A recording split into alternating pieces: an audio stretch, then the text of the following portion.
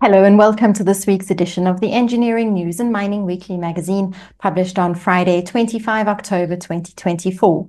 In this week's cover article, Engineering News and Mining Weekly contributing editor online Darren Parker writes that greater coordination is needed to realize green hydrogen aspirations. Despite enthusiasm for the development of a hydrogen economy from the public and private sectors, there remains a significant lack of coordination to effectively implement projects and bring the dream of a green hydrogen economy to life.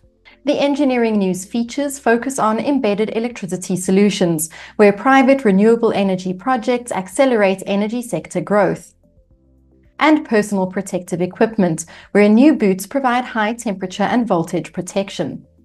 The Mining Weekly features focus on open cast mining, where a flagship Springs colliery is set to start construction.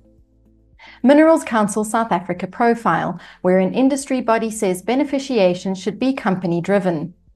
And an Electra Mining Africa review, where the fruits of a newly inked deal were on show at the exhibition.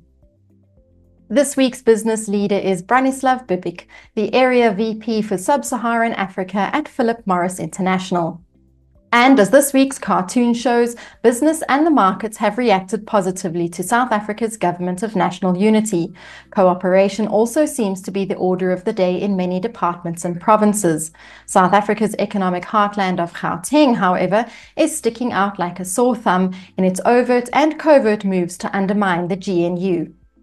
We hope you enjoy this week's edition of Creamer Media's Engineering News and Mining Weekly. Be sure to subscribe to the magazine that offers you in-depth news about developments in the real economy by emailing subscriptions at engineeringnews.co.za. Happy reading and see you next time.